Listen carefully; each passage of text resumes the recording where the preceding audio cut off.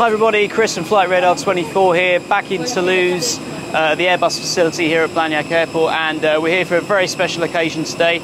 You might see behind me the brand new Airbus A321 XLR. This is one of three XLR aircraft that live here in Toulouse that are performing flight testing right now. The aircraft behind me is about to head off on a seven hour trip, testing the aircraft in hot environments during the day around the Mediterranean. This evening it's going to take its longest flight yet, which is going to be 11 hours up to the North Pole. And the best thing about it is we're going to be on board that flight.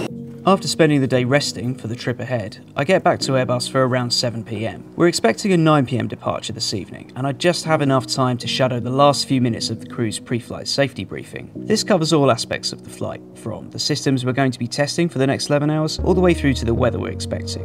The good news is we're expecting smooth weather all the way. The better news is that we're expecting to see the northern lights somewhere off the coast of Greenland. Keep an eye out for that. Let's have a quick look at the route we'll be taking today. Leaving Toulouse around 9pm, we're going to fly pretty much due north across the UK, passing slightly to the west of London and heading up to the northeast coast of Greenland. We'll then make a 180 degree turn and fly straight back down. The track we'll take back will be slightly more to the west of the track we took on the way up. Today's aircraft, Fox Whiskey Whiskey Alpha Bravo, is one of three XLR aircraft currently being tested by Airbus, but it's the only one to be fully equipped with a passenger cabin, so there are two classes to choose from. It's going to be a long flight tonight, so I'm going to go for a business class seat. It's remarkable how spacious this aircraft feels. Despite not even being fitted with the full airspace cabin, it feels somehow more spacious than your average narrowbody. We're also given a typical airline style passenger briefing, courtesy of the ground test engineers, but with such a small crew it's a little more intimate than your average commercial flight.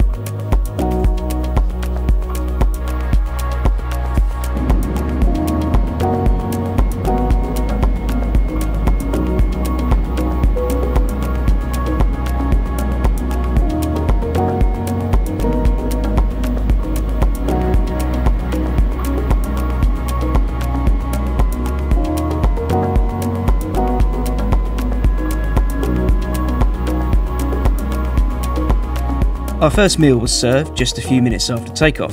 The main course was a hot chicken dish with a bean salad, a side of cheese, and an almond flavoured dessert. Pretty tasty. Now we've settled into the flight, let's learn more about what we're actually doing here. We're going to head to the back of the cabin and speak to Airbus flight test engineers Jim and Jean-Philippe. These guys have years of experience between them testing civilian and military Airbus aircraft, including the A380 and the A400M. Jim's going to spend some time telling us about what we're learning this evening and what route proving actually involves. So my name is Jim Fawcett. I'm a lead flight test engineer in the development flight test team at Airbus in Toulouse. So right here in front of me now is are uh, one of the screens which is available in our flight test instrumentation.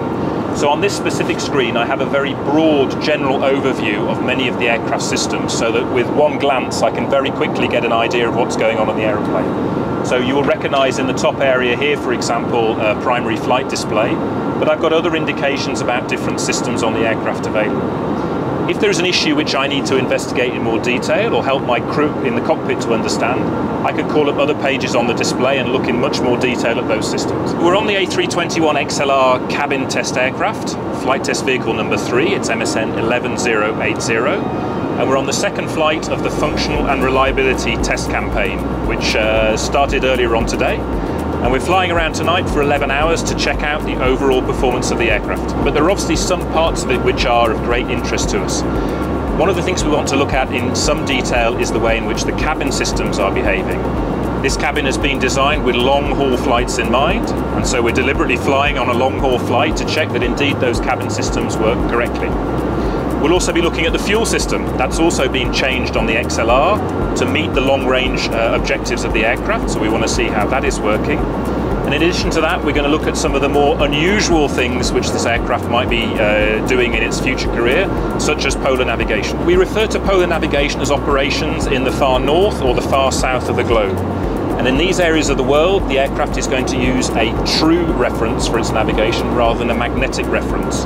So the onboard systems have to be configured in a slightly different way to meet all of those, uh, those constraints. So we want to check that effectively when we fly into a polar area, that we will see those systems operating correctly, whether it's in a manual way or in an automatic way. In our flight testing operation, we tend to do a large number of rather short flights, and in between those flights, there are changes in configuration of the aircraft, which is quite different to what an airline will do in service. So for us to get some confidence that when the airlines use the aeroplane in the way that they will use it, we want to try and replicate those operations and demonstrate that effectively those systems which we're selling as working fully from day one are actually mature, as we would call it. The north-south routing on this flight really lends itself to incredible views. As promised, we're now seeing the Aurora Borealis in all of its glory out of both sides of the aircraft and out of the flight deck. Absolutely amazing. We're also experiencing sunsets and sunrises on both sides of the aircraft. It's a bit weird for your body clock, but it's pretty good on the eyes.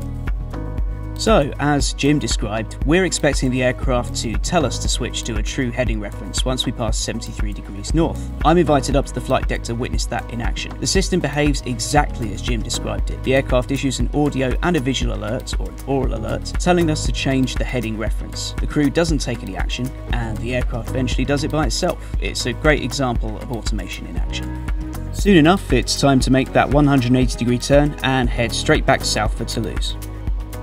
These temperature and audio sensors are installed throughout the cabin. Once the passenger flights begin, these are going to be vital in understanding the temperatures and noise levels that passengers will experience day to day on these long-haul narrowbody flights. Interestingly, the A321XLR actually contains three cabin zones, which can be independently temperature controlled. The regular Airbus A321 only has two zones. Breakfast on this flight was a slightly unorthodox brownie and custard, but very tasty.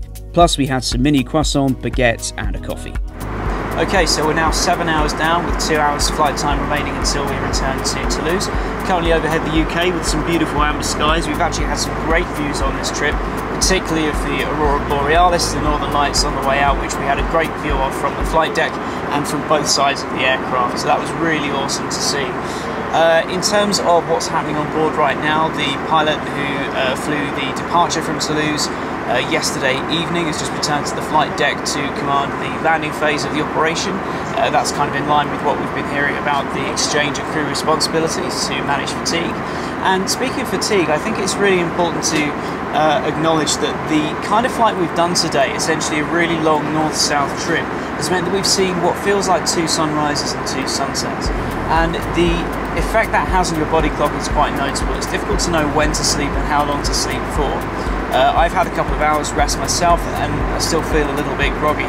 And it really goes to show how important it is that the crew regulate their meal times and their sleep times as per the regulations we've been learning about to make sure that these kind of flights are conducted safely.